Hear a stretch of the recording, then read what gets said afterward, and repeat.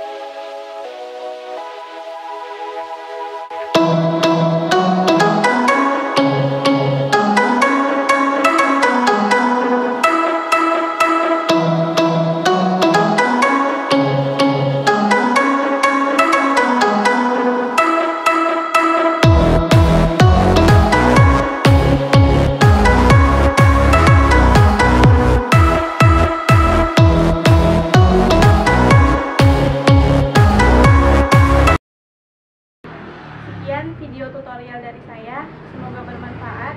Bisa pilih hak khairat. Wassalamualaikum warahmatullahi wabarakatuh.